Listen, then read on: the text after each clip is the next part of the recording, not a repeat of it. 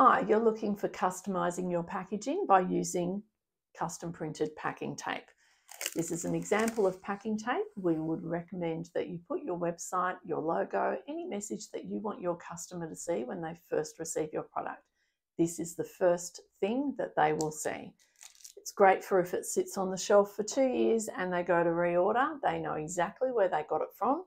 This tape is still on the box. You can also put it on your pallets to uh, customize your pallets so that it's very recognizable.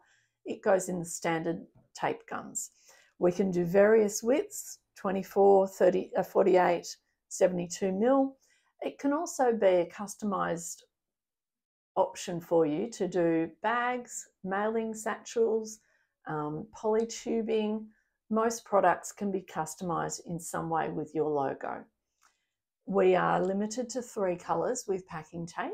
You can have a coloured tape that is printed on, but generally a white or a clear in a polypropylene or a PVC material. We can also do fluorescent tapes, and the colour restriction is three colours printed, but those colours can be anything, any PMS colour that you have specific to your company brand. So let us know if you're interested in custom packing tape, send us an email Give us an idea of your artwork, your logo, and we can tell you how it's going to work. Thank you.